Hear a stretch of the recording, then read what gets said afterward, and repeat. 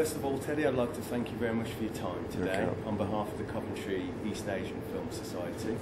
Um, we were over in Udine.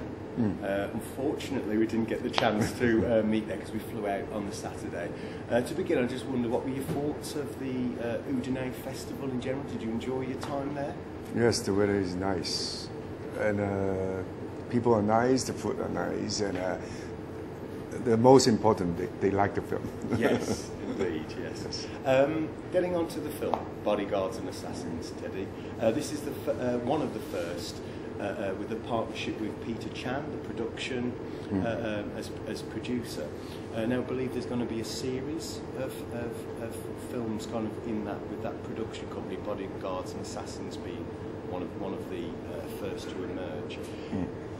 In relation to that, Bodyguards and Assassins, would you say it is a inter, you had a, a- an international audience in mind? Obviously, you've screened at Udine now at Terracotta, or was it made for a very particular Chinese Hong Kong market? Actually, when I first start making films, uh, I, I told myself uh, every story, every film that could happen in the whole world. Just like uh, the movie before I made is called Wait Till You're Older.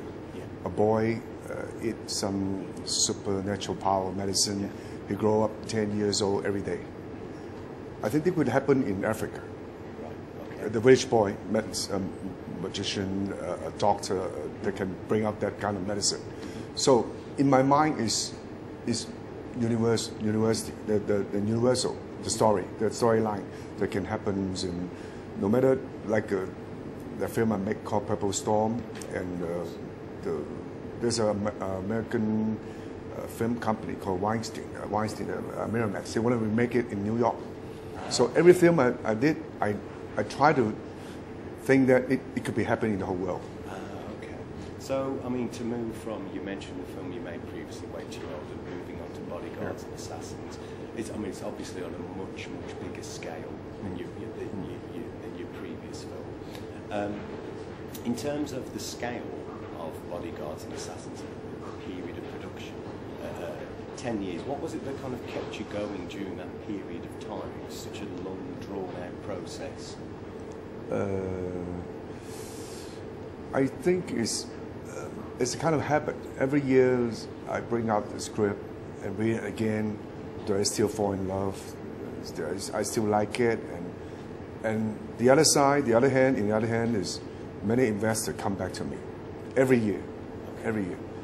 Can we make this film? Yes. We like it, uh, but don't build a set.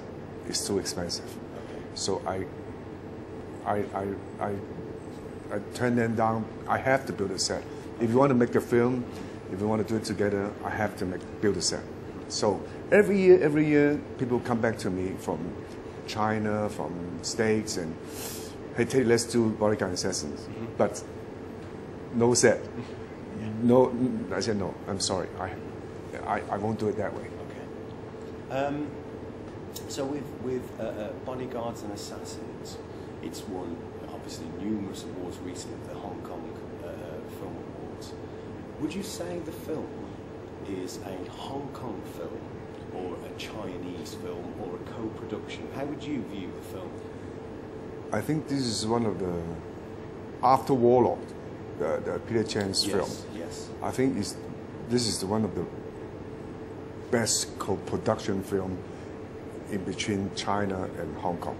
Okay. Suppose the story happened in Hong Kong in, the, in the 1905, but it is a, such a good co-production.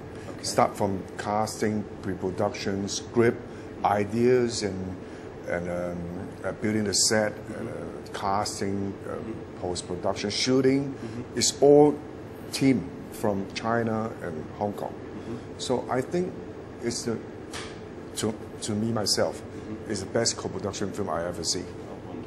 That makes it today is a bit success in a, in a in a Chinese film market. You. Okay. Yeah. When you're making a film like Bodyguard, I know you just mentioned uh, Peter Chan's Warlords. Um, if you're making a film with an eye on the Chinese market, do you have to make, obviously, there's, there's so much talk about the censorship in China. Is it difficult to make uh, uh, the film you want to make for the Chinese, if you're aiming for a Chinese market? I mentioned Warlords because I realise that there's an alternative ending to Warlords, one for the Chinese and one for the Hong Kong market. Uh, is that is that a, is, is that a, a, difficult thing to do? Is do you have to make a lot of concessions? You see, the China the China uh, censorship right now mm-hmm. is they just they just just open the market. Okay. They, they just brand new. They yeah. only start for six or seven years. Yeah. They're trying to break some rules okay. uh, to make it more easier for everybody, but it's hard to them to open the, the market in, in, in, in, in just according to these five or six years.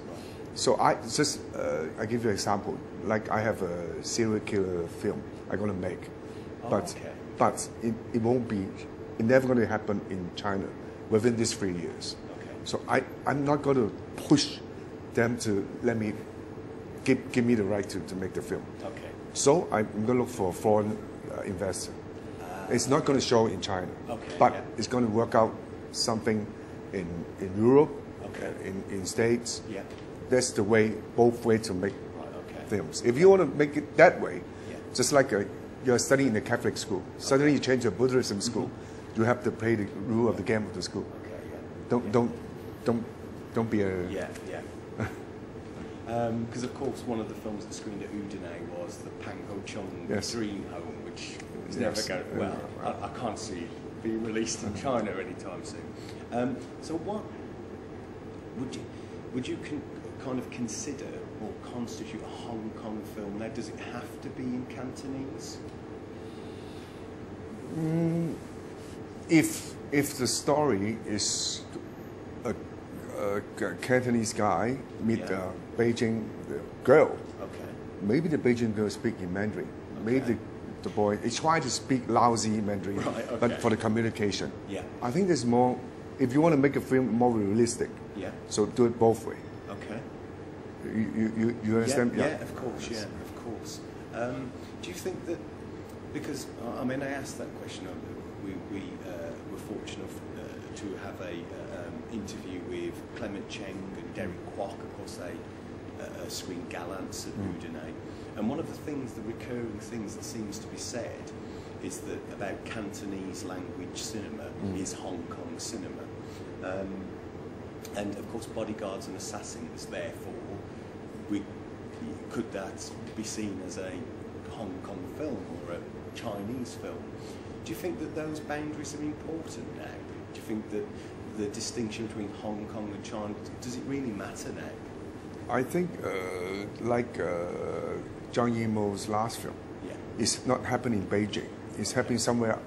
Uh, um, what do you call that place? They speak special their own language. Oh, yeah. yeah. So the movie it is happens in Hong Kong. Okay. So we are most of them are come from uh, Canton. Yeah. So they will speak in Cantonese. Yeah. So like Bodyguard and Assassin, the the the businessman yeah. is from is from China. Is yeah. is, is from uh, Beijing. So okay. he's speaking Mandarin. Yeah.